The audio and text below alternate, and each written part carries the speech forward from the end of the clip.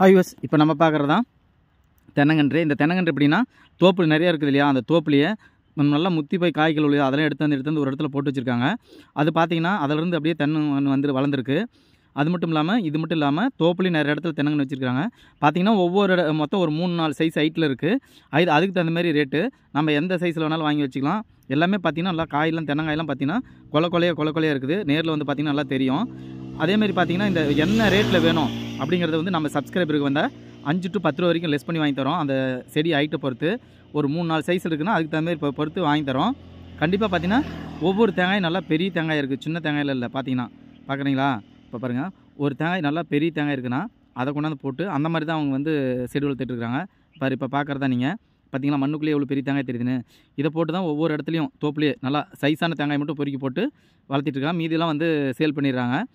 இந்த மாதிரி வ வர சைஸ்லேருந்து பெரிய தேங்காய் வரதுல தான் ஏன்னா நல்லா சீக்கிரம் காப்புக்கு வரும்.